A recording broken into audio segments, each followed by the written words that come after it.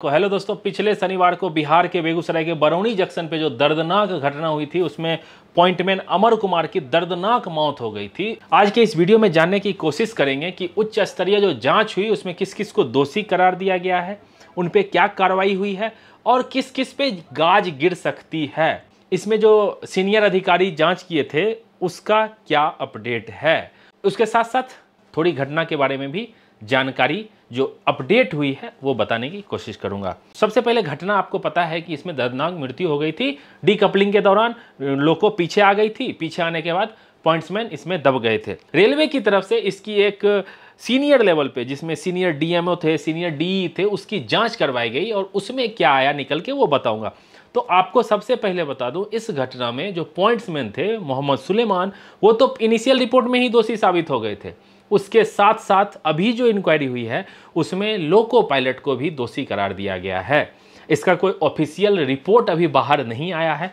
उसको आने में टाइम लग सकता है या हो सकता है वो पब्लिक ना भी हो। रेलवे के सूत्र के हवाले से ये जो जानकारी मिली है, जिसमें बताया गया है कि सेंटर जो लोको पायलट थे, राकेश रोशन टू, उनको भी सस्पेंड कर दिया गया है।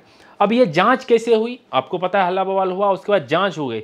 तो जाँच में एक एक पहलू को देखा गया है। देखा गया कि आपको पता है, घटना आपको याद है। क्या हुआ? सबसे पहले उसमें पावर कार में डीजल भरने के लिए आई। लोको जो वैप फोर था, Rakesh Roshan centre, loco pilot थे, दो पॉइंट्समैन थे, एक थे अमर कुमार, एक थे मोहम्मद सुलेमान। लोको डिटैच हो गई, डिटैच होकर तीन हाथ आगे गई, थोड़ा आगे गई। आगे होने के बाद जो पॉइंट्समैन थे, अमर कुमार, वो उसमें गए। अंदर जाने के वो पाइप वाइप सेट करते हैं मतलब लटकता हुआ ना रहे, कोई हैंगिंग पार्ट ना रहे। उसी के दौरान क्या हुआ? ये पॉइंट्समैन आगे गए सुलेमान और उन्होंने कुछ इशारा किया।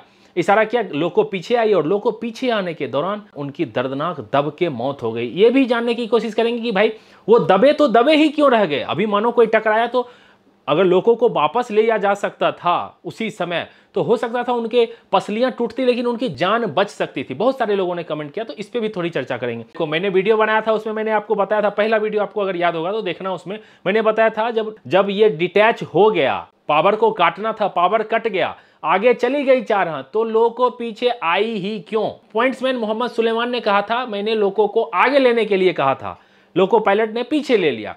अब लोको पायलट का कहना था, उन्होंने पीछे लेने के लिए कहा था। सबसे पहले आपको बता दूँ, जो पावर जब कटा ना तो आगे थोड़ा चला गया। प्लेटफॉर्म नंबर पाँच और छह जो है ना, उसमें आगे से रास्ता है जहाँ पे पार्सल का सामान भी जाता है बाइक से लोग भी जाते हैं और पैदल मुसाफिर भी जाते हैं। एक प्लेटफॉर्म से रेलवे के स्टाफ भी जाते हैं। प्लेटफॉर्म नंबर चार पे वहाँ पे जीआरपी का थाना भी है प्लेटफॉर्म पे ही, आगे की ओर। तो उसमें कहा गया कि रास्ता ब्लॉक हो गया था जब ये पावर कट हुआ। उस रास्ते को क्लियर करने के लिए पॉइंट्समैन ने बोला था, भाई, अब आप ले लो आगे। तो लेकिन लोको पायलट ने पीछे ले लिया। अब पीछे लिया, उनको अंदाज़ा ही नहीं था कितना पीछे लेना था और वो दब गए। अब ये सवाल उठ रहा है, जब दबे तो फिर आगे ले लेते तो उनकी जाँच तो बच सकती थी। तो आपको बता दूँ, जब वो लोको पीछे गई तो पीछे जब वो दबे तो दबने के दौरान वो जो कपल था, फिर वो जो कपलिंग था सीबीसी कपलिंग, वो फिर से कपल हो गया मतलब उसमें फंस गया। अब उसको खोलने के लिए फिर से हैंडल उठाने की ज़रूरत थी, फिर थोड़ा पीछे लेते और इतने में वो दबे हुए हैं, कराहे हैं और तब तक उनकी पसलियाँ मतलब वो जिस तरह से दर्दनाक मृत्यु हो गई उनकी, जब ये चीज़ हुआ, उसके पाँच सात मिनट के बाद लोको पायलट को देखा गया, सीसीटीवी में, वो उतर के प्लेटफॉर्म की ओर भाग गए। सबसे पहले, पीछे लिया जो वो गलत हो गया, जो भाई पीछे क्यों लिए जब पावर कट करना था तो पीछे क्यों लिए तुम? अब अगर तुमको पीछे लेना था तो रेलवे के नियम के अनुसार जिधर लोको जाएगी, अगर सामने की ओर जा रही है तो आगे वाला कैब यूज़ होगा। अगर पीछे करना है तो फिर से लोको पायलट को इस कैब से दूसरे कैब में जाना है और फिर लोको को पीछे लेना है। तो ये रेलवे का नियम है जो सख्त है। अब इस आधार पे लोको पायलट को सस्पेंड किया गया है कि आपने अगर जब पीछे किया लोको को तो आप पीछे वाले कैब में क्यों नहीं गए? आगे ही बैठे बैठे क्यों पीछे कर दिया? लोको पायलट हो गए, सस्पेंड। सस्पेंड में इनको आधी सैलरी मिलेगी, लेकिन इनकी नौकरी भी जा सकती है। आगे अभी कुछ नहीं कहा जा सकता है। इसमें जो स्टेशन के अधीक्षक थे एसएस उनसे पूछताछ की गई। आपके जब पॉइंटमैन ये डीकपल करने गए थे उनके पास फ्लैग क्यों नहीं था? हाथ से क्यों इशारा कर रहे थे? हाथ से क्या इशारा किया था? इसी इशारे की वजह से इसकी जान चली गई। दूसरी चीज़ आपके कोई सुपरवाइजर लेवल के वहाँ पे ऑफिसर क्यों नहीं थे?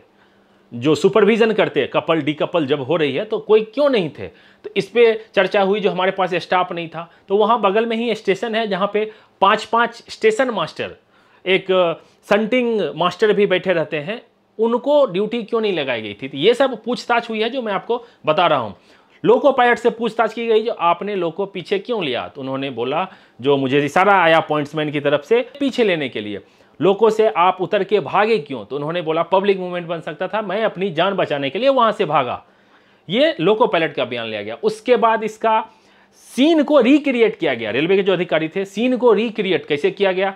जो आप जब ये पीछे लिए तो कपल कैसे हो गई? स्पीड क्या थी? इसका जो नियम है, ढाई से तीन का स्पीड होना चाहिए कपल के। एकदम स्लो में आएगी और ये अटैच हो जाएगी। तो वो स्पीड क्या था? आदमी की जगह जो लकड़ी का गुटखा होता है, जिसमें व्हील में पार्किंग के टाइम पे लगाते हैं, उसको वहाँ पे लगाया गया बफर में और टेस्ट किया गया कि इस ये रहते हुए क्या हमारी लोको अटैच हो जाएगी? आगे से किया गया। पीछे से अनुमान कितना था? मतलब ताकि, देखो, ये तो घटना हो गई, अब इसमें आगे क्या प्रिकॉशन लिया जा सकता है। उसके लिए जाँच में सब चीज़ एक एक पहलू पे। दो तीन दिन ये चीज़ें चली है बरौनी रेलवे स्टेशन पे। आज भी वहाँ डीआरएम आ रहे हैं इस चीज़ में काउंसलिंग करने के लिए, बताने के लिए, सारी चीज़ करने के लिए क्या क्या प्रिकॉशन रखा जा सकता है, आप लोग क्या करिए। इसमें जो एल आई हैं, लोको इंस्पेक्टर, उनसे बातचीत की गई है। आपके जो सेंटर लोको पायलट थे, उनका काउंसलिंग कैसा था? उनकी ट्रेनिंग कैसी थी? वो, क्या उनको ये चीज़ पता नहीं था कि वो पीछे वाले लोगों में आके अगर बैक भी करना है, रास्ता क्लियर करना है तो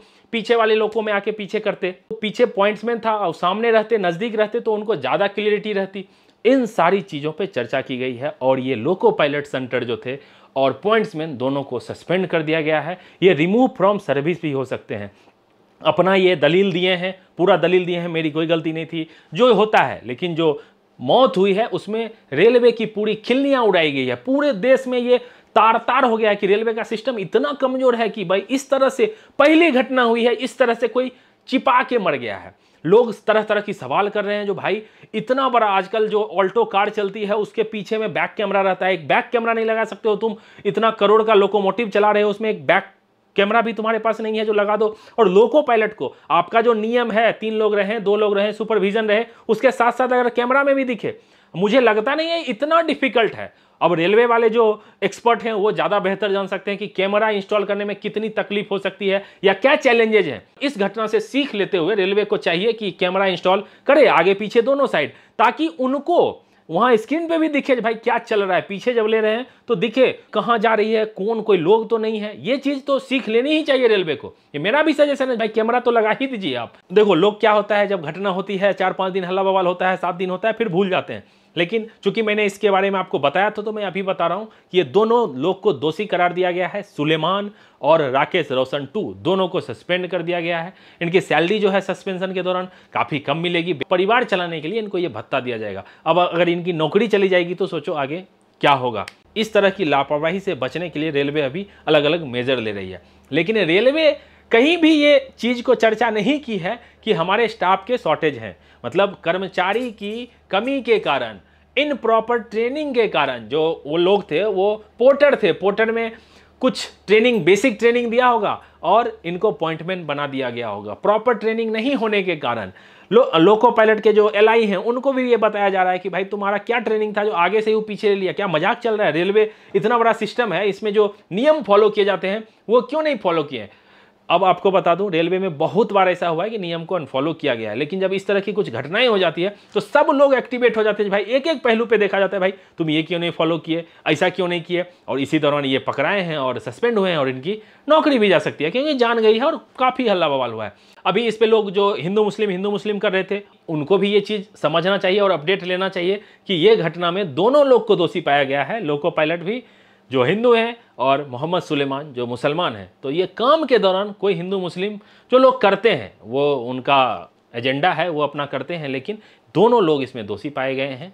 और एक चीज़ आपको बता दूँ, इसमें जो मुआवजा दिया गया है, लोग बता रहे हैं कंपेयर कर रहे हैं, जो भाई ये चौवालीस पैंतालीस लाख रुपए क्या उनकी जान की कीमत से ज़्यादा है? तो बिल्कुल भी नहीं है।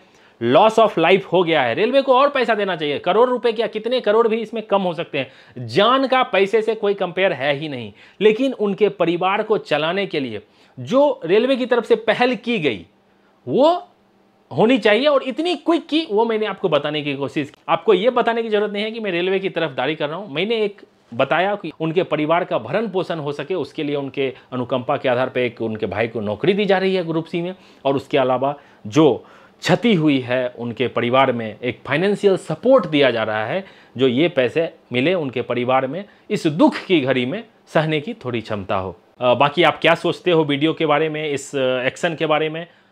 कमेंट करके ज़रूर बताइएगा। मिलते हैं जल्द ही अगली वीडियो में, तब तक अपना ख्याल रखिए, अपने परिवार का ख्याल रखिए। Bye take care